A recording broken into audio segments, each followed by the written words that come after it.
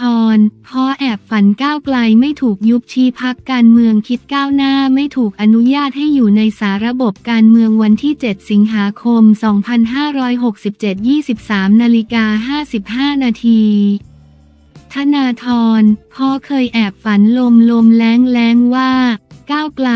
จะไม่ถูกยุบชี้พักการเมืองที่มีความคิดก้าวหน้า ไม่ถูกอนุญาตให้ดำรงอยู่ในสาระบบการเมืองไทย หากไม่รอมชอมกับโครงสร้างการเมืองของคนชั้นนำวันที่ 7 สิงหาคม 67 นายธนาธรจึงรุ่งเรืองกิจประธานคณะก้าวหน้าโพสต์ ข้อความบนเอ็กภายหลังสารรัฐธรรมนูญมีคำสั่งยุบพักก้าวไกล ระบุว่า ยักไหลแล้วไปต่อไปไหน ผมแอบฝันลมลมแรงแรงมาตลอดว่าพักก้าวไกลจะไม่ถูกยุบหลายเดือนที่ผ่านมาเดินสายต่างจังหวัดพบปะกับผู้คนเมื่อไหร่ก็บอกกับทุกคนว่าไม่ต้องกังวลยักไหลแล้วเดินต่อไปการยุบพักทำอะไรพวกเราไม่ได้ แต่ในใจก็หวั่นไหวและกังวลพอสมควรวันนี้ ฝันลมลมแรงแรงก็คือฝันลมลมแรงแรงจริง ๆ พักการเมืองที่มีความคิดก้าวหน้า ไม่ถูกอนุญาตให้ดำรงอยู่ในสาระบบการเมืองไทย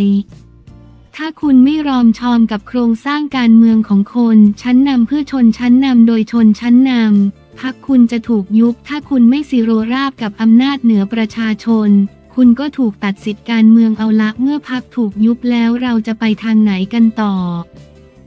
เราต้องมองมันเป็นโอกาสในการสร้างพักที่เข้มแข็งกว่าเดิม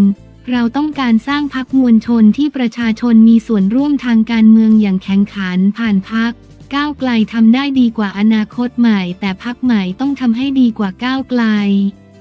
ตัวชี้วัดที่สำคัญคือปริมาณและการมีส่วนร่วมของสมาชิก การยุบพักอาจทำให้เราซุดไปบ้าง แต่เราสามารถแก้ไขข้อผิดพลาดเชิงโครงสร้างได้ง่ายขึ้น พัฒนาตัวเองได้สะดวกขึ้นพักมวลชนที่เข้มแข็ง คืออาวุธเดียวที่ประชาชนมีในการสร้างการเปลี่ยนแปลง เส้นขอบฟ้าทางการเมืองของเราคือการเลือกตั้ง 2570 ซึ่งเป็นการเลือกตั้งครั้งที่ 3 หลังจากการตั้งพักอนาคตใหม่หลังจากการเดินทางก้าวแรกของเรา 2570 คือปีที่เราต้องชนะการเลือกตั้งอย่างถล่มทลาย เราจะทำให้ทศวรรษ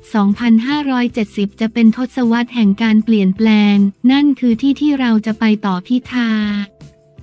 ชัยธวัฒน์และกรรมการบริหารพักก้าวไกลทุกคนเยี่ยมยอดมาก ภายใต้การนำของคุณก้าวไกลชนะเลือกตั้งเป็นพักอันดับหนึ่งของประเทศอย่างภาคภูมิ ไม่มีอะไรต้องเสียใจพวกคุณนำพักได้อย่างสง่างามแล้ว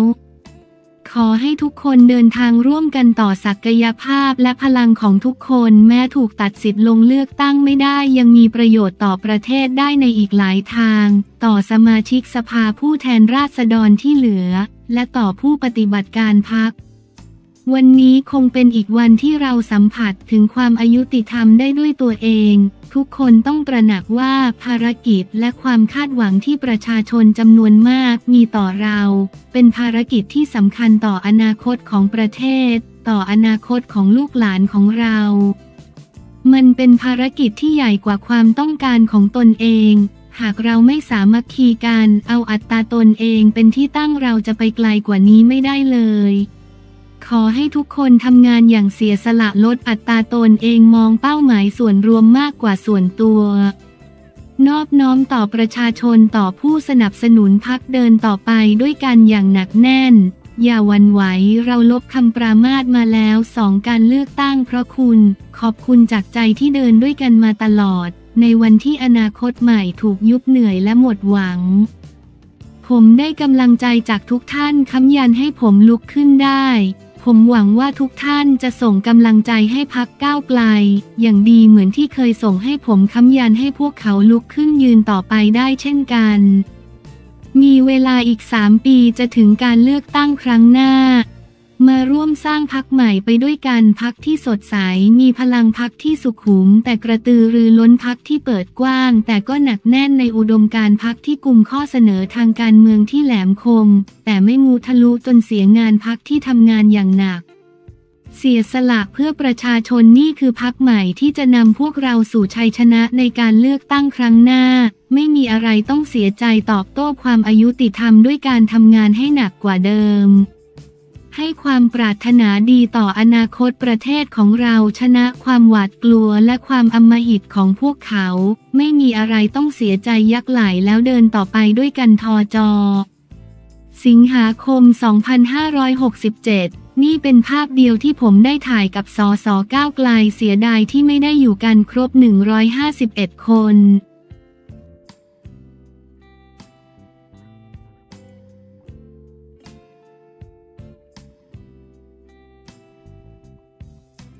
มันธนาโพสต์ร่ายยาวปกป้องคนที่รักเผยถูกคู่กรณีบิดเบือนความจริง ทุกอย่างจบที่ศาลบันเทิงวันที่ 7 สิงหาคม 2567 22นาฬิกา26 นาทีปูมันธนาร่อนจดหมายพร้อมออกมาปกป้องคนที่รัก เผยโดนคู่กรณีแฉและบิดเบือนความจริง ทุกอย่างให้ทนายเดินเรื่องจบที่ศาลวันที่ 7 สิงหาคม 67 ปูมันธนาหิมะทองคำได้ออกมาโพสต์ผ่านไอจีโดยระบุว่าถึงพี่พี่น้อง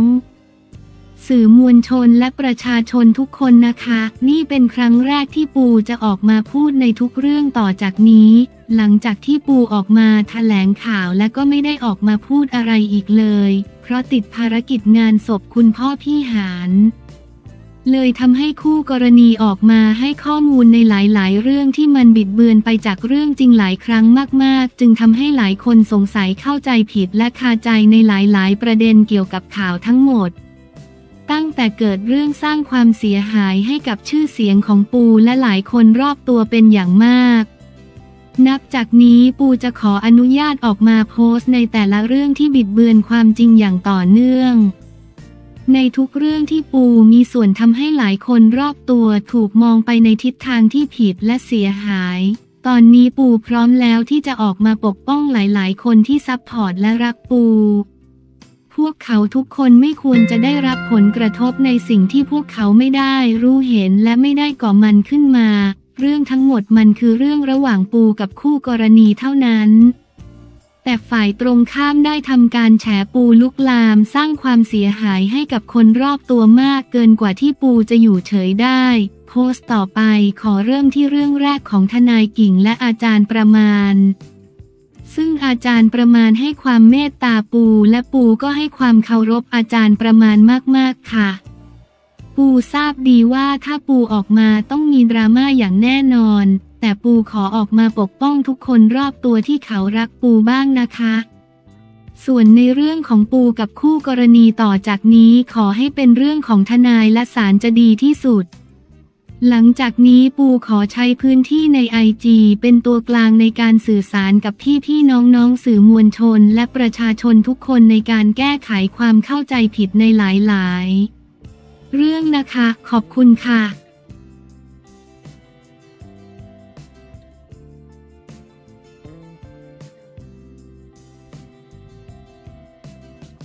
เปิดโผ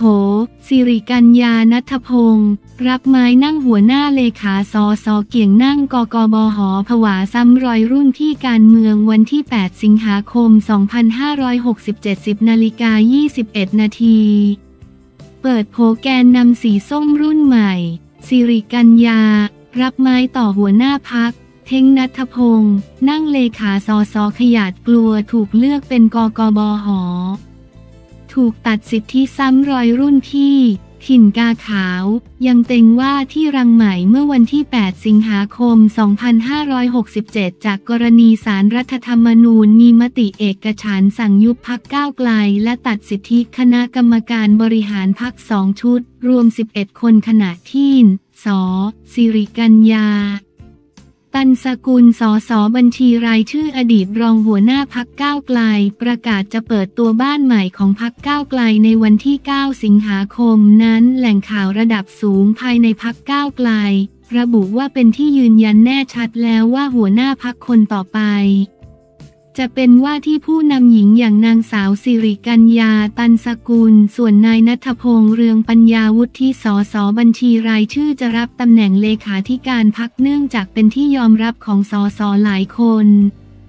และเป็นผู้อยู่เบื้องหลังการทำงานในสภาผู้แทนราษฎรของพรรคก้าวไกลที่ผ่านมา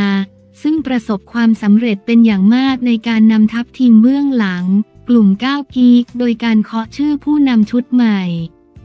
ชัดขึ้นภายหลังสารรัฐธรรมนูญวินิจฉัย เนื่องจากที่ผ่านมามีการช่างใจจากทีมยุทธศาสตร์ของพรรคและผู้มีบารมีนอกพรรคว่า จะผลักดัน สสิริกัญญา หรือนายนัทพงศ์โดยมีพักที่เป็นรังใหม่พักเดิม คือพักถิ่นกาขาวชาววิไลผู้สื่อข่าวรายงานว่าส่วนที่ยังเป็นปัญหาในตอนนี้คือ